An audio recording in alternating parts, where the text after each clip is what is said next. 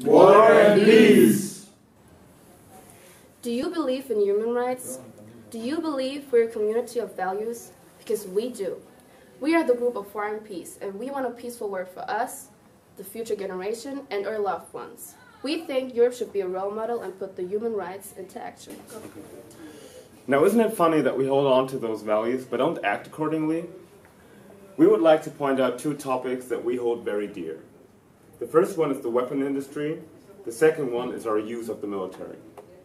Each day we ship arms worth more than 4 billion euros into the entire world, including very precarious countries like Syria, Iraq, or Libya. They are being used to reinforce a conflict that made billions of people flee their countries. Do you want children to be killed by weapons we put out into the world? If we want to intervene in conflicts outside of Europe, we mostly send foot soldiers or air forces to liberate, but we don't see how that is really effective. Wouldn't it be better to know that our army is being put to good use? We demand more humanitarian aid from our military or the reallocation of their budget into organizations that serve exactly this purpose. The purpose to build structures instead of destroying them.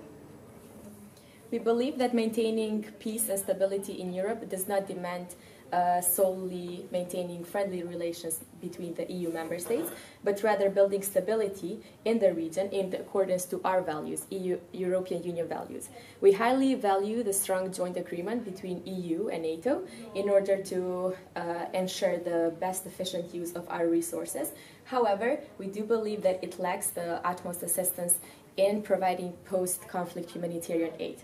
Therefore, we think that the European Union for, uh, foreign policy is to be reinforced, as well as diplomacy, particularly in establishment of international organizations uh, regarding the reduction in weapon selling, and this should be done in a global level.